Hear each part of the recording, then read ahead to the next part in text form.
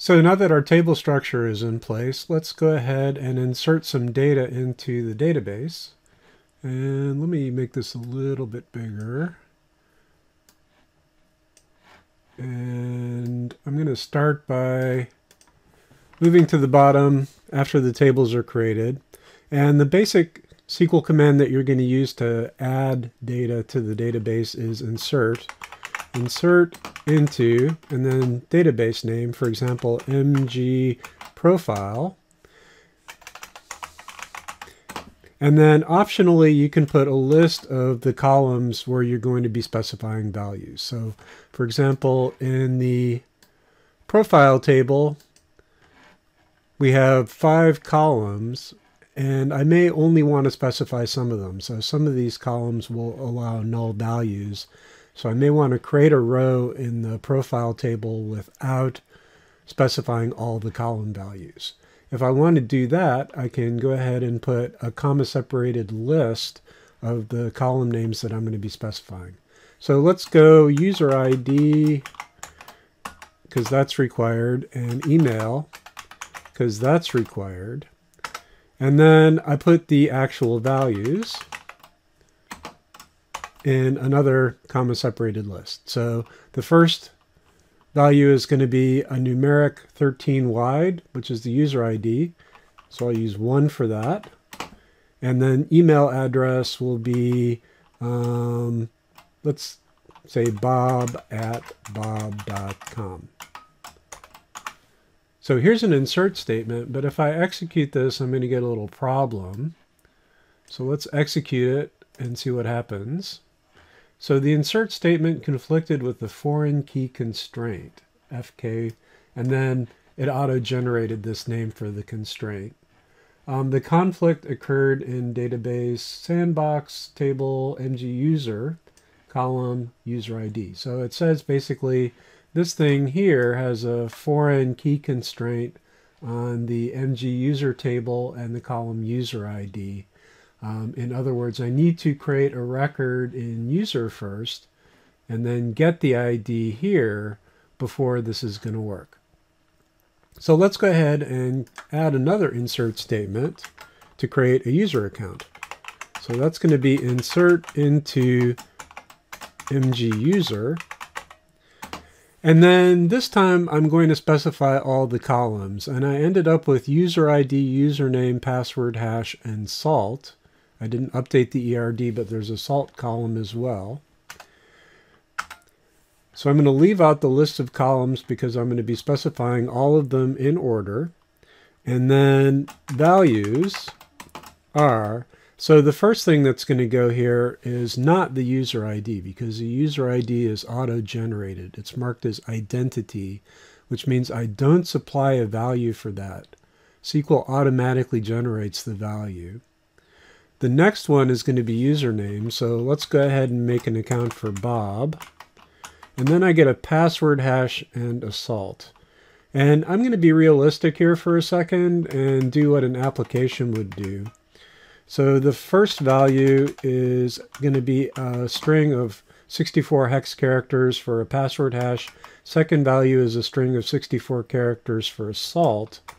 And let's look at how an application would actually generate those values. So I'm going to go ahead and pull up a browser window and I'm going to search for hex random number generator and take one. So I want to generate 64 random bytes and I want to display them as hexadecimal and then I'm going to get bytes. And I actually wanted one that didn't have spaces in it, so let me go ahead and pick a different one here. Let's try this random hex number generator. And I want 64 of them. Oh, and this will let me generate multiples. I think that's good. I'll go ahead and generate multiples because I'm going to need multiples. So basically, I'm going to grab this first randomly generated number. And that's going to be my salt for this account. And every time I change the password or update this information, I'm going to generate a brand new random salt. And then the other thing I need is let's use SHA 256 generator. So here's a 256 hash generator online. And the user is going to supply me with a password. So let's use the most common password, which is, believe it or not, password. So there's the password. And then to make this a little more cryptographically secure, what we're usually going to do is we're going to concatenate the random salt with that. So this is the effective password. And this is, as you can understand, amazingly difficult to guess. So here's the 64 bytes of uh, SHA 256 in hex format, and I'm going to copy that. And so that's my password hash. So if I go ahead and execute this statement, it goes through, I have a row in my database, and then if I do select star from mg user, I see this new row here. So the user ID is one that was automatically generated. I have a username, I have a password hash, and a salt. And so now I can use this user ID 1 in my insert for MG profile. And that time it works correctly. So I can also write a statement like select star from MG user join MG profile on MG user dot user ID e equals mg profile dot user ID. And if I execute that, there's my data. So you'll notice for the column values, I didn't specify. They were allowed to be null, and so I got null values there. Um, this is the stuff from MG Profile where I just specified ID and email. Now, if I wanted to create a second user, let's go ahead and do that. Um, so I'm going to go and get the next hash. That's going to be insert into mg user values, and I'm, I'm going to create an account for Alice. And I need to calculate the password hash. For the salt, I'll go ahead and pick just the second randomly generated salt out of this list.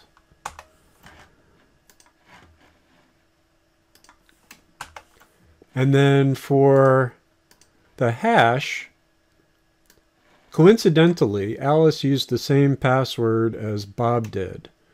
But I have a different random salt, and so I end up with a different password hash. And that's the reason that password hashes are mostly going to be distinct. So here's my second user.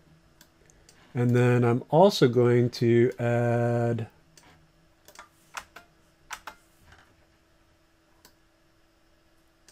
a profile. But this time I'm just going to specify user ID. And I'm going to guess that Alice is going to be row 2. So let's go ahead and create the account for Alice. Oh, and uh, I didn't select the right values, so there we go. So there's the account for Alice. And now if I do this insert, I'm actually should get an error. Yeah, so I cannot insert the value null into column email. Table MG profile column does not allow nulls insert fails. So that one should be self-explanatory in this profile column. I'm sorry, in this profile table up here for the email column, I specified unique. And so that integrity constraint is enforced when I try to insert a row into the table that doesn't have a value specified for email. So let's go ahead and add an email address. So Alice is also at bob.com. And execute that. And now, oh, and there are fewer columns in the insert statement. So I have to add email here as well. Good. So now I have two values being specified into two columns, and it works. So now if I run the select statement again, I should have two rows, and I do. And you'll notice that the password hashes are different, completely different, even though the users use the same password. So let's do one more user. And I'm going to insert into mg user. And I'm going to use Charlie. And then I need a hash and a salt. So for the salt, I'm going to go ahead and grab the third random value.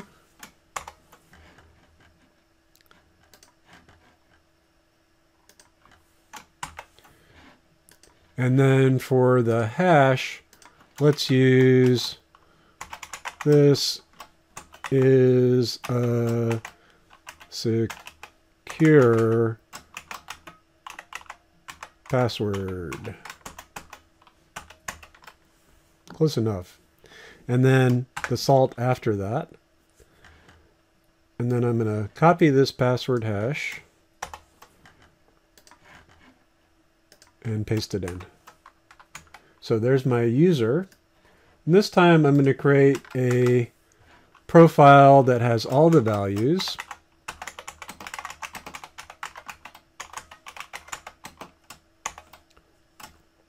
And that's going to include a user ID and a first name and a last name and an email.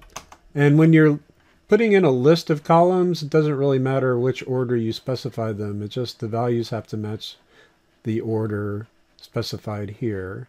And I think I'm forgetting one column, so let me take a look again. So first name, last name, email, and home page. So we'll do, this time I'm just going to put the home page first just to demonstrate. And values. So the first thing is the user ID, which is probably going to be 3, but keeping track of these IDs is a little bit of a pain. Um, so one of the things that SQL will allow you to do is to fetch the ID that was created by the last identity. So when I did this insert into, since the user ID column was generated using identity, the value that it generated is saved, and I can actually refer to that in the next query. The way I get that is with a function called scope identity. So if I want to specify the ID here, user ID to be whatever the ID was in this previous row, I can say scope identity, and this is going to return whatever value is used. And then I can just pass that in. So I'm going to go ahead and do that here. And then for the home page, we'll do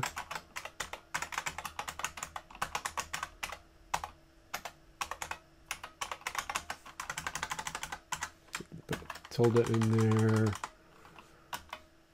So there's a home page and first name is going to be Charlie and then last name is Jones and then email address is charlie at bob.com. Great. So let me go ahead and execute these two lines. And then I'm going to run my select statement again. Let's move it to the bottom actually.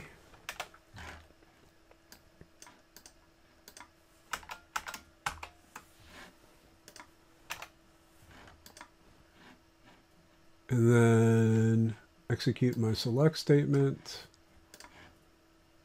Great. So that seems to work correctly. So I should be able to run all of these statements from scratch. I'm going to hit execute and that's going to completely rebuild my database. And I see at the end my select statement is returning the right values.